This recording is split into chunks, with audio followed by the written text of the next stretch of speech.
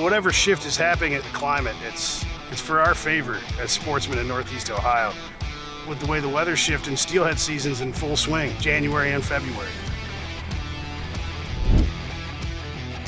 It's been the norm for the last few years. We've really seen that late January through February window sort of turn on. So it's a welcome change. I don't know what lies ahead, but but I'm liking it.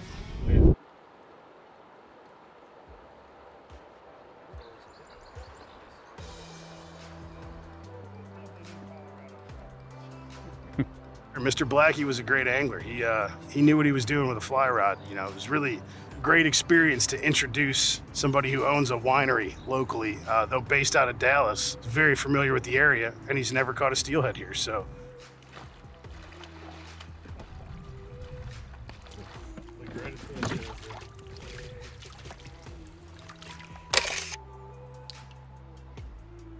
Oh yeah, Got it? beautiful, beautiful. Good job. All right, let swim. So that's a spawned out female.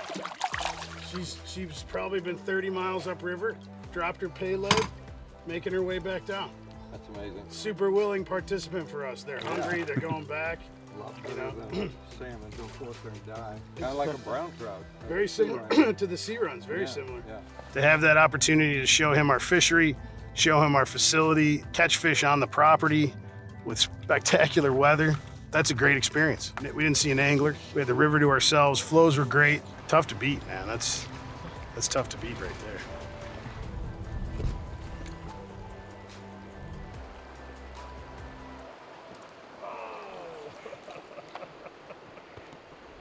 We got the most out of him. Oh,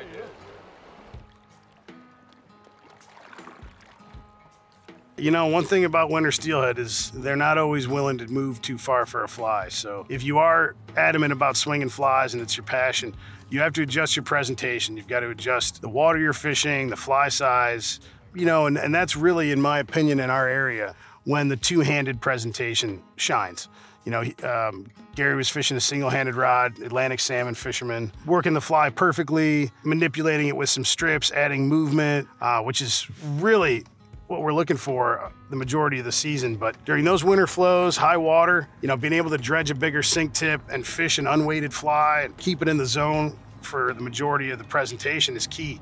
You know, we just we weren't able to find those fish sitting in the tops of the buckets and on the lips and fish that are pressing up into the next pool because they were all holding in, in the back boulder fields. Not quite the tailouts. It was nice weather, but it was one of the colder days.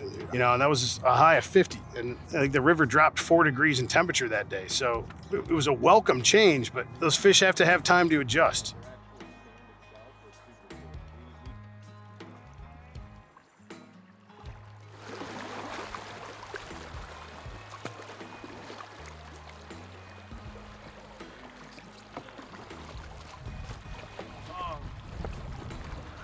Oh. oh man.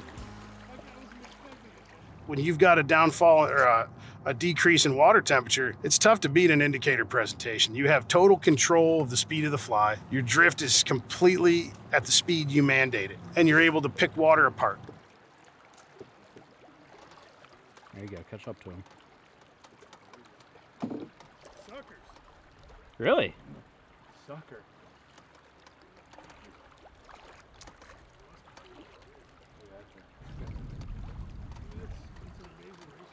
We did get into some silverfish, some clean fish. Luckily, he was he's a great angler and he knew how to handle a fish that rips line. I mean, we saw our backing. To have fish pulling like that in February, that's really special situation. Really have to. I'll, I'll adjust off the view.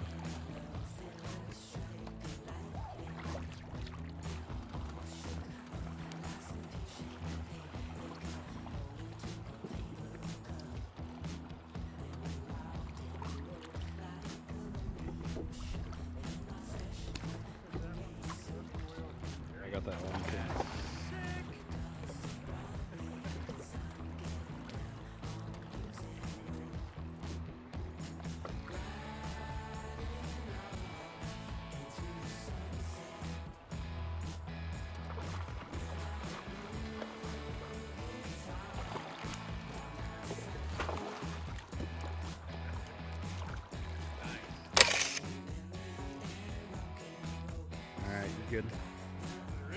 Yep.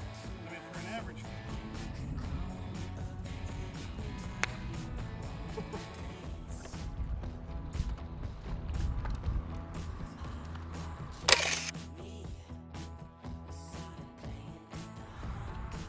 Having the ability to, to interact with many fish in a day is great, but it's not necessary. A big belief of ours is to set proper expectations. You're dealing with a potamodromous fish that's moving through a river system. Here today, gone tomorrow. I always say the benchmark of a really good steelhead experience in our area is interacting with six fish in a day. What you got there, John? A really well hooked steelhead. There's a pretty chromer there. Could you hook more? Sometimes. Are there days where you grind it out for one? There are. There's no reason to fish much harder. You know, if you're having that opportunity, you're floating down a beautiful river, spending time in a beautiful resource, take some time to look up. Think about more than just the fish. That's that's something not enough people are doing.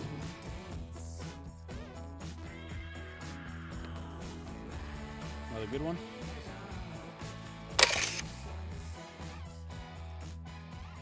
Most resources that are special are, are loved to death.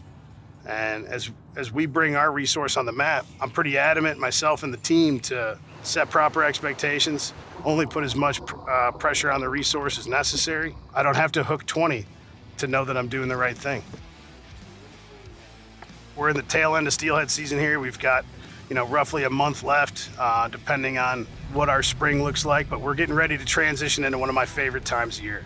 Lake Run smallmouth game is on fire. Fishing on the big lake is heating up. Walleye are moving shallow. Smallmouth are in the shallows. You know, you've got some great steelhead opportunities with dropback fish leaving. Pike are on post spawn. Muskie are on pre spawn. It's a great window. And on, on top of that, we're entering the greatest time of year, turkey season. Come out to CBO. Like and follow, subscribe, check the lodge out.